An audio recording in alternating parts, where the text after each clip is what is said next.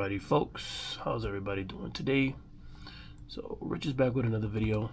Currently what I'm going to be working on is this Audi key.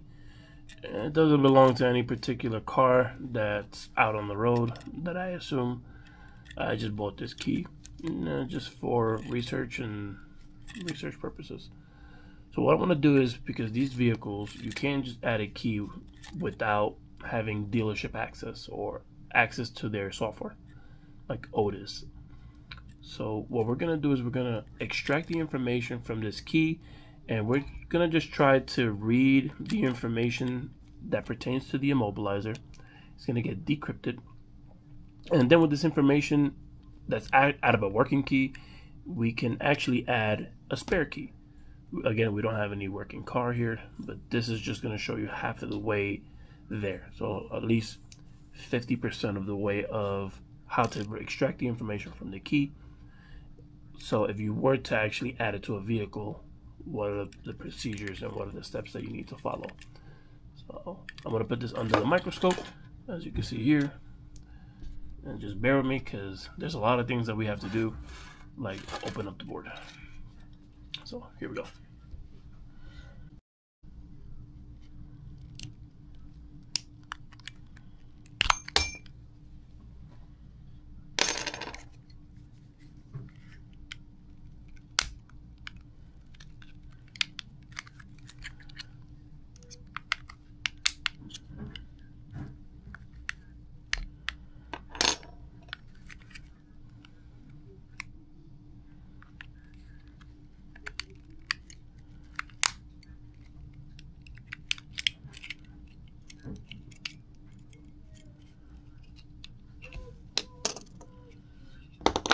goes the board.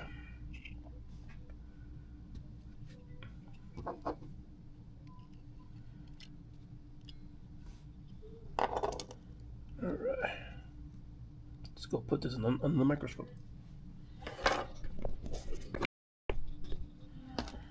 Okay. so here, I don't know if you can see it really well. Try to bring it as close as I can. Put it a little bit closer here. A few little glares.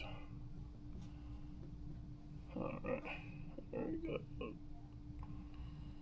So a few components. We're gonna have to remove two. So component number one. Uh, let me see if I can bring a tweezer here so I can point out exactly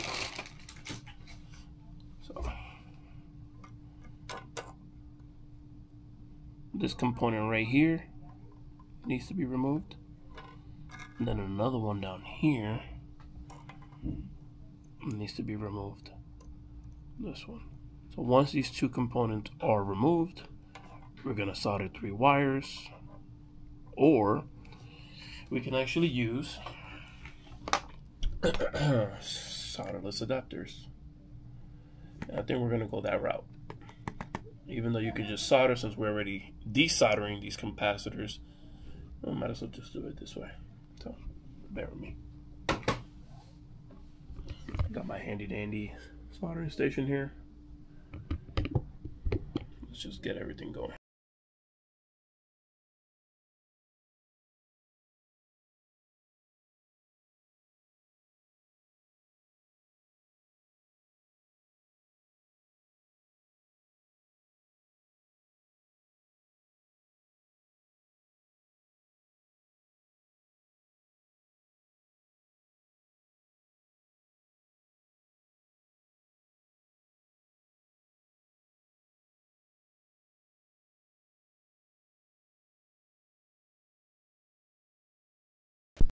Alrighty, I'm back at it. Sorry, the phone just keeps on ringing and I can't concentrate. But there are my components. That's one and that's two. I'm gonna put this one in here in the two so that way I know where this one goes. Two. So first one, second one. Put that over there. And now what we're gonna do is we're going to go flip the board and we're gonna be using the adapter uh, based on this diagram right over here, I know it's flickering. It's telling us that it's going to be a type 3 adapter. So we're gonna line it line it up as such. Be gentle so these pogo pins don't go breaking. Then once we have it right in the right spot, we're gonna use these retainers, these clips. So that's pretty much it. So basically that's how it'll look, sandwiched. So let's go put it here. So notice how the adapters are laid out. So the board is at the bottom so the machine can actually read it and then decode it. So now let's go here.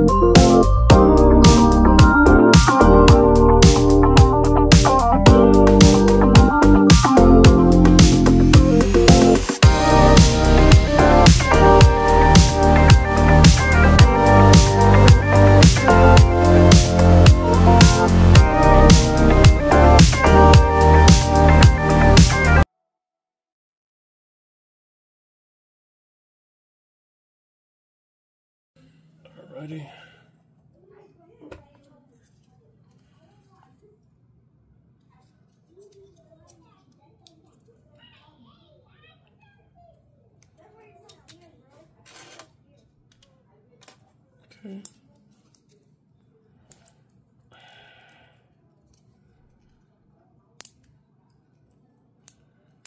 Kind of annoying to get these little things up, but just work your way around it, take your time. There we go. So let's go put this back away. I'm gonna put this back into its original state. So that means we have to solder those two components back. Let's start with the easy one, which would be this one. As a matter of fact, let me get some flux first.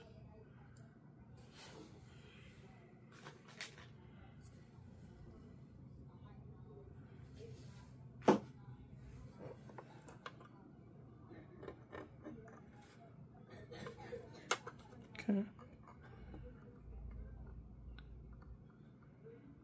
We'll clean this up in a minute. And all right, go to the microscope real quick.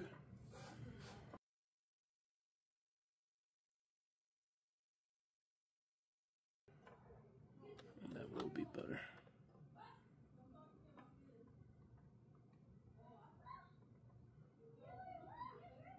These things are so tiny.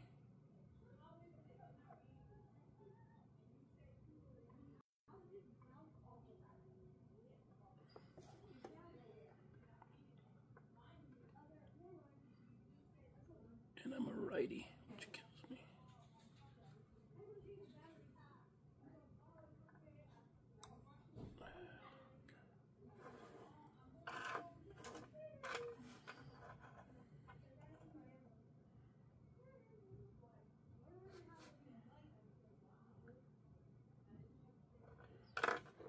Look at it from the side.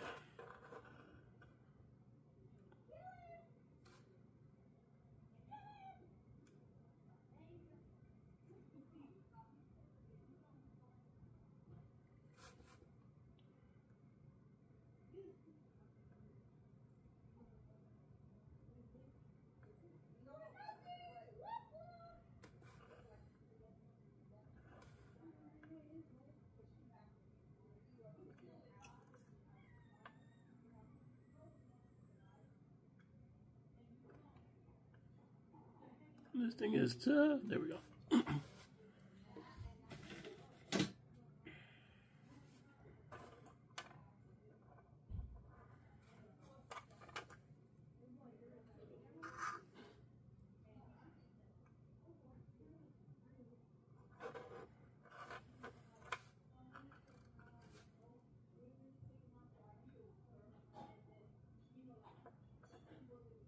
Okay. Now let's hit this one over here.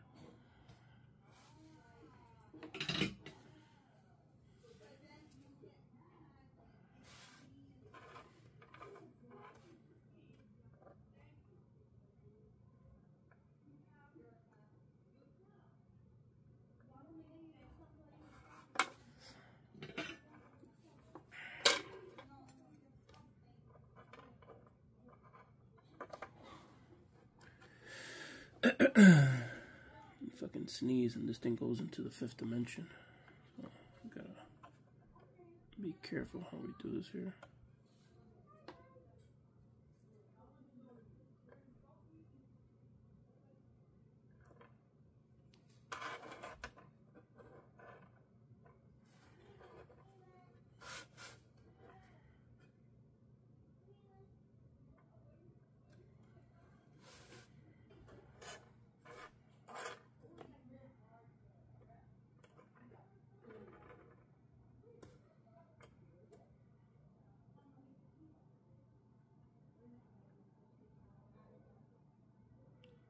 Make sure everything on this is. Okay, let's go clean it up.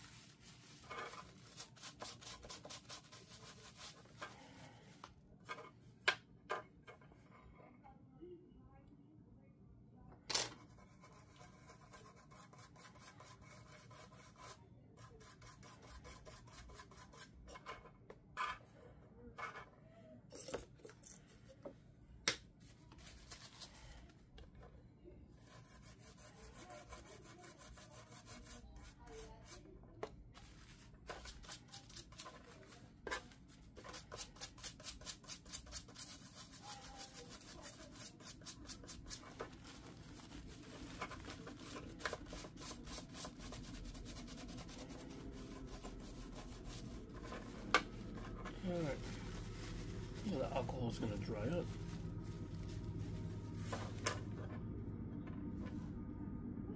Okay. Good. Let's see if I can clear it up a little bit more there.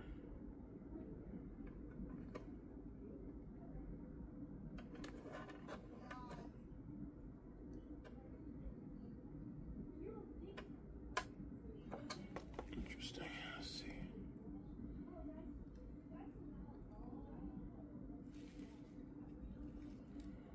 Get a little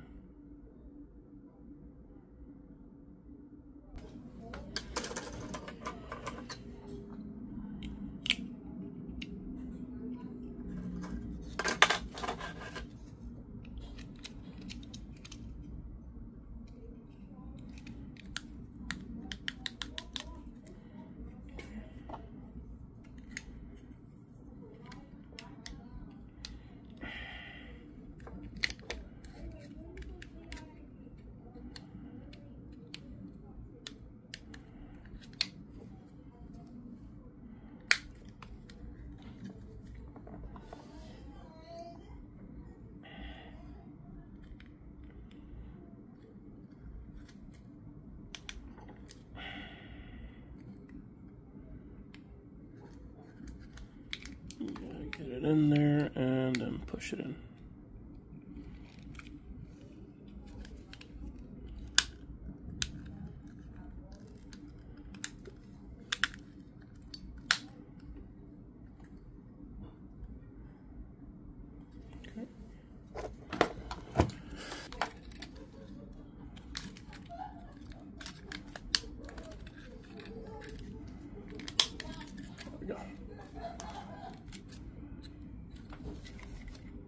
all set. So let's go check if everything works.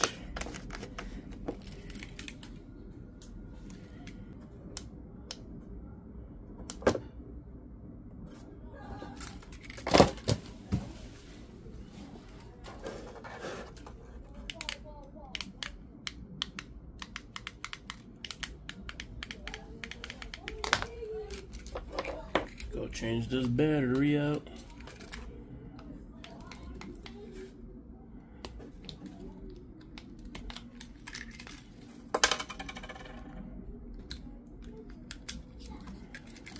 Go change this battery. Battery back, put it in. Let's check if there's a frequency coming out of it. There you go.